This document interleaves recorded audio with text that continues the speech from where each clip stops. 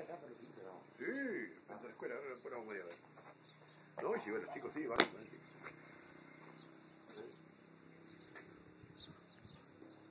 Una paz ahí, Pero ¿ves lo que es esto? los pajaritos. Los pajaritos. Bueno, vos sabés que yo siempre fui un bicho de departamento. Toda mi vida. Yo vi, ¿te acordás dónde vivía yo, no? Siempre un bicho.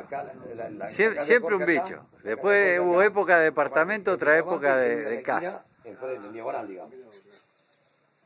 Siempre, siempre viví en departamento. Y ahora, cuando en el 97 me compré una casa, que ya no sonaba bien. Y con un pedacito de jardín. Claro, ya, ya un éxito.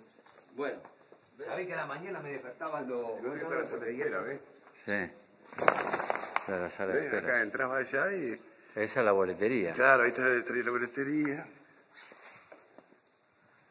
Está abierto, sí. No, pero vale, te hablando No, no, no, vení, vení, vení, que vamos a entrar.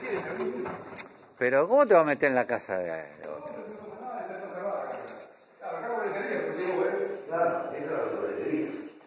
Entraba acá, la principal, la boletería ya salíamos a esperar el...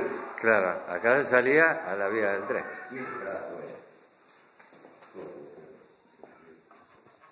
Claro, por acá pasaba.